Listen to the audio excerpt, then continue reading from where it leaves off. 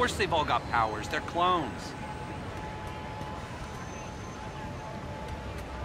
I bet if I got a costume, I could pass for Spider-Man. As long as I didn't have to, you know, do anything.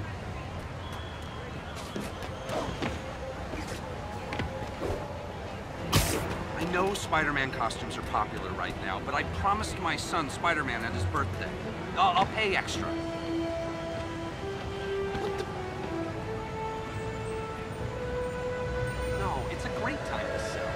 Safe again. Buyers are lining up.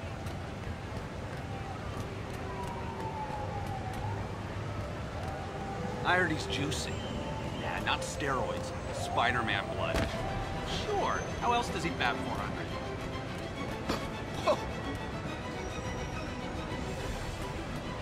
I like that Spider-Man guy, but he's got to think ahead.